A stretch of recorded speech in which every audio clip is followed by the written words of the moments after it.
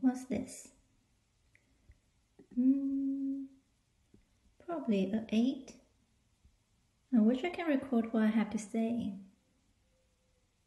Oh, there you go. And voice on. Um, so hey team, um, in general, I really like your app. Yeah, ever since we started using it two months ago, um, it has really helped us to track our monthly statistics on our growth, and then we can see which product is um, is going out. It's really good.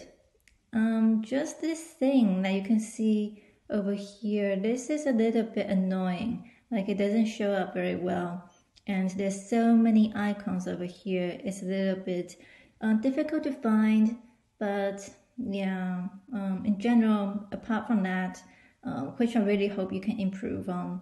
Uh, apart from that, yeah, I'm really excited and I really love it and really looking forward to seeing what you guys have in store next.